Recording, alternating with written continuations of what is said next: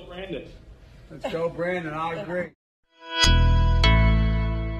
What's going on, everybody? It's Jeremy coming to you with another truck video and today we are talking about the father in Oregon that trolled Joe Biden and said let's go Brandon. And then Joe Biden responded with let's go Brandon. I agree. We're going to talk about that because the mainstream media continues to be the enemy of the people. They are terrible. They are horrible. And they're doing everything in their power to shame this man to make this man feel like the worst person in the world, to make an example of this man. That's what they are trying to do with this guy because this guy trolled Joe Biden with the Let's Go Brandon thing uh, on a phone call during a Christmas phone call.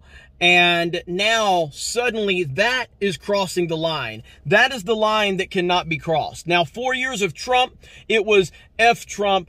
F Trump, F Trump. It was okay for Madonna to talk about blowing up the White House. It was okay for Johnny Depp to talk about uh, assassinating him. It was okay for Kathy Griffin to hold a bloody Trump head. It was okay for all of these horrible things to be said about him during award shows. Uh, it was okay for him to be portrayed in different musicals and plays, uh, having horrible things done to, to Donald Trump. All of that was acceptable. All of that was completely fine. But yet one father says, let's go Brandon, and suddenly that is the line that can't be crossed. That is the line. What this is, is this is teaching everyone else that you need to stay in line. If you don't stay in line, if you dare to criticize uh, Joe Biden, if you dare to go against the mainstream or the Democratic narrative, they will destroy your life. They are making an example of this man because they want to you to fear them.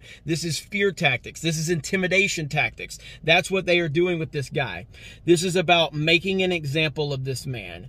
And I don't know what's ultimately going to happen. He's already started to change his tune. He's already tried to say I meant no disrespect, all of that. And I totally understand why he has to, why he feels he needs to do that. Because I don't know exactly, well, first of all, I'm not going to talk about what the man does or anything like that. I'm not even going to share his name here, even though it's out there. But the mainstream is just going to continue to bully him and ruin his life because it's not about him. It's about you. It's about everyone else out there. They are trying to let you know that you do not step out of line. You do not criticize the narrative. You don't go against the mainstream talking points. And if you do, this is what the result will be. That is what they're trying to do. They are trying to make an example of him so they can intimidate you. You can't let that happen. You have to speak up against these people. You have to stand up against this nonsense. Because if you don't stand up against it, you're only giving them what they want and you're making your life more difficult and more miserable by doing so. You cannot let these people win. Let's Go Brandon is just as much about fuck Joe Biden as it is fuck the media. Now, whether they know that or not, I'm not sure. I think they are aware of that because ultimately this all happened because at a NASCAR race, Brandon, I think his name was Brandon Brown. I used to watch NASCAR a lot. Um, Brandon Brown won his first race, uh, I believe at Talladega in Talladega, Alabama. Um, Brandon Brown won the race, and then the crowd is in the stands after he does his celebration and his burnout. He's standing there doing an interview, and the crowd is chanting F Joe Biden over and over and over again. And the reporter, knowing what they were chanting, being very aware of that, tried to do what the media often does, tried to twist it and manipulate it, and said, oh, they're chanting, let's go Brandon. That's how this was all started. So the Let's Go Brandon meme is just as much about telling the media to go F themselves as it is about Joe Biden. Because Joe Biden is protected by the media, as there are so many other things.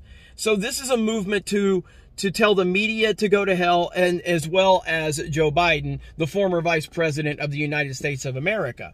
And so that's the beauty of the Let's Go Brandon movement is you know, this father, man, I can't get into his mind or, or anything. Um, but when people hear this father using that language, they know what he's saying. He's making a joint statement to go F Joe Biden, F the media, F the media narrative. At least that's how it's perceived. Again, I can't go directly into his mind, but that's what people feel like he means by that.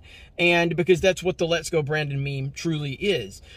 So again, it's disgusting, but it's not surprising. This is what we continue to see. This is why we need new independent voices to continue to uh, grow and thrive. It's why I've talked about many times that there are different levels of creation.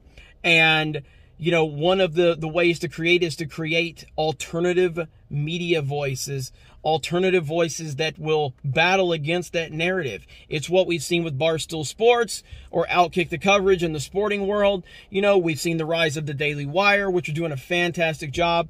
And, you know, with what Geeks and Gamers is in terms of the gaming, movies, and the sports side of things. And obviously, I dip heavily into politics here on my personal channel. Um, you know, we have to have a voice that is willing to go against the narrative of because the mainstream is the reason that so many of these entities are so powerful. And I'm not saying it's going to happen overnight because it's not going to happen overnight. But ultimately, we have to battle against this. We have to try something.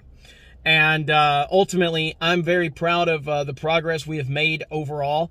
I'm, a, I'm an annual supporter of the Daily Wire, even though I'm not the biggest fan of Ben Shapiro. I'm a fan of what they're doing, and I'm a fan of what they're building and creating. And I think that's very, very important to support you know, media companies that are trying to battle against that. But that's what the Let's Go Brandon movement is, and the media is disgusting with some of the things I'm seeing them share out there. So you guys let me know your thoughts in the comments below. I stand with this man, uh, and I know he's probably going to ultimately make an apology. At least that's what it feels like it's moving into. I think he's already apologized to some extent. Um, but I think that's that's definitely the direction it's going to go in um, because they're ruining his life. They're ruining his life. Uh, and this is what they do. And again, this is not about him. This is about making sure you and everyone else out there re realizes that if you step out of line, the mainstream will destroy your life. They will destroy your family. They will destroy uh, your livelihood. They will destroy your image. They will destroy everything and anyone that associates with you if you dare step out of line. Thank you guys. Have a great day. Let's go, Brandon. And we will talk to you later.